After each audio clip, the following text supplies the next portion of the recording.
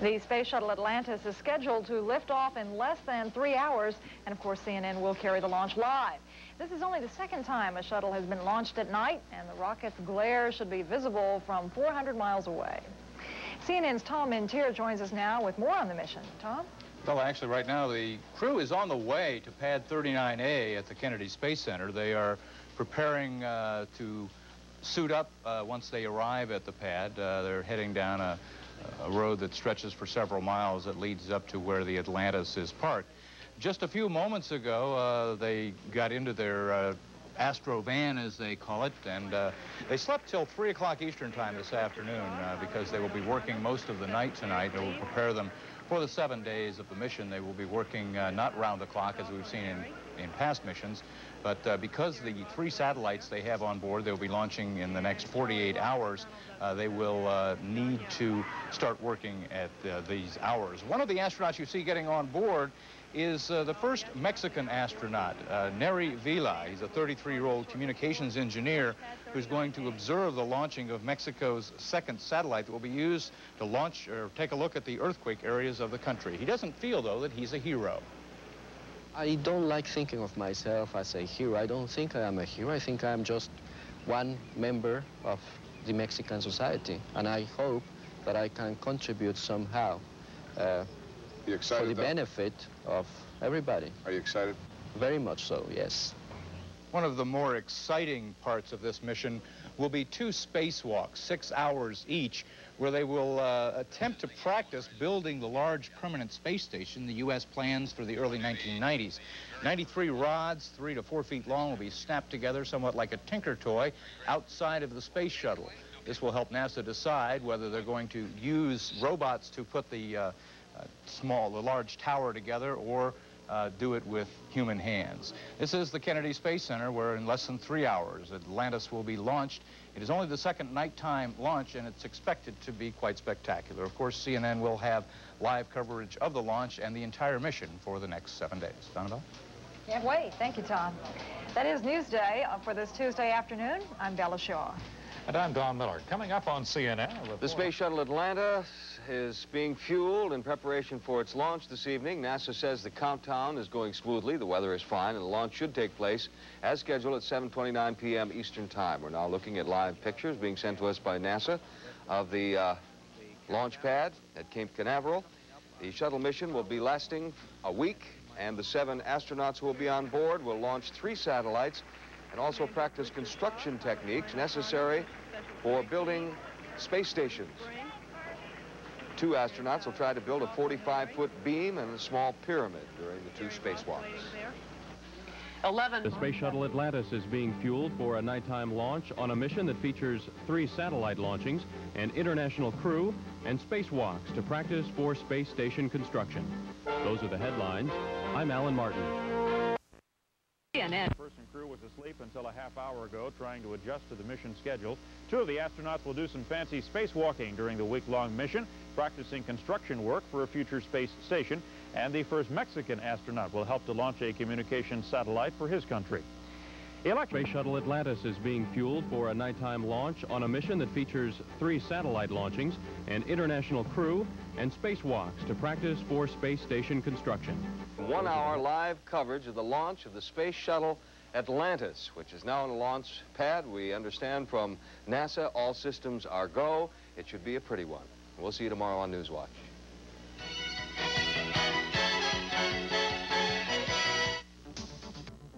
during the crisis. In less than an hour, the Space Shuttle Atlantis will make her way to the heavens. The nighttime launch is set for 7.29 Eastern Time.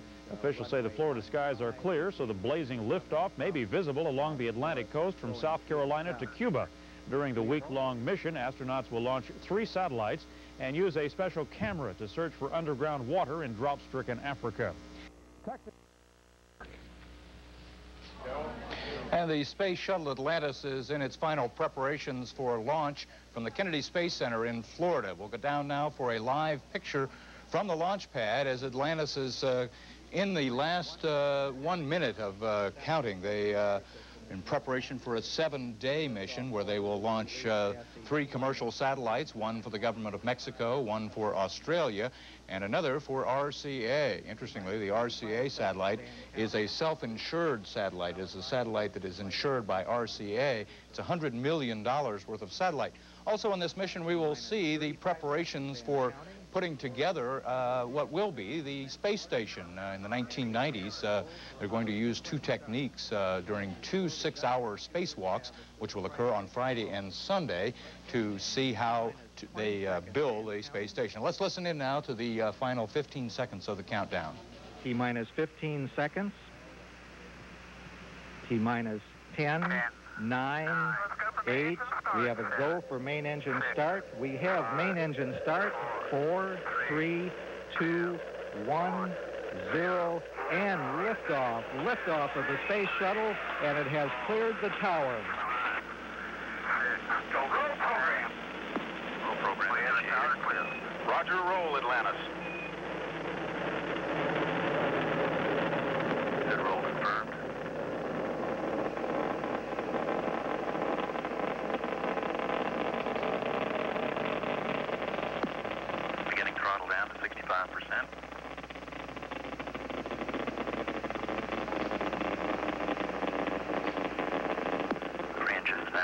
25% throttles.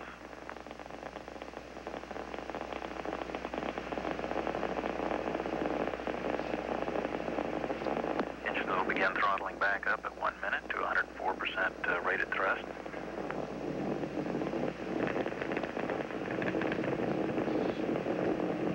Velocity 2400 feet per second. Altitude 5.8 nautical miles. Downrange distance 4 nautical miles. Engines throttling back up to 104%. As promised, Atlantis uh, lit up the sky over southern Florida, so much so that the television cameras around the launch pad apparently couldn't handle the brightness uh, of the 700-foot flame coming out from the solid uh, rockets of the uh, space shuttle. They uh, are about uh, three minutes away from uh, the main engine cutoff where the tanks that are in the center of your screen will cut back and separate from the space shuttle as it continues on its way. It appears that the launch has gone off with, without a hitch, and the seven-member crew, six men and one woman, begin the seven days in space. It will be a very busy time with two six-hour spacewalks to construct the 40-foot tower that will uh, be the forerunner to the construction of a space station in the 1990s. And uh, now we're seeing the uh, solid rockets separating from the space shuttle, and we see the three small dots, which are the glows of the shuttle engine, as they prepare for their seven-day mission in space. Velocity 5,700 feet per second. Altitude 27 nautical miles. Downrange distance 36 nautical miles. Although the space program is four and a half years old, and this is the 23rd voyage of the space shuttle, this is only the second time that they have launched the spacecraft at night. The last time was in 1983 when Challenger was sent up at night, and uh, that time they had a cloud cover where you couldn't see pictures like this. It was only visible about as far south as Miami, but they say this time that the launch was probably visible as far south as Cuba and as far north as the Carolinas. 500 second. Altitude 38 nautical miles. Downrange distance 67 nautical miles.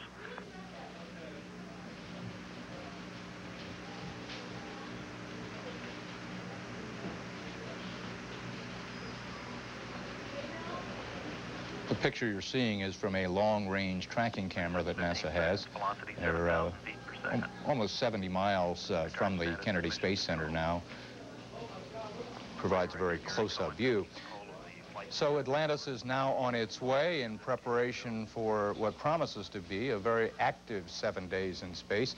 NASA is now on its once a month launch schedule.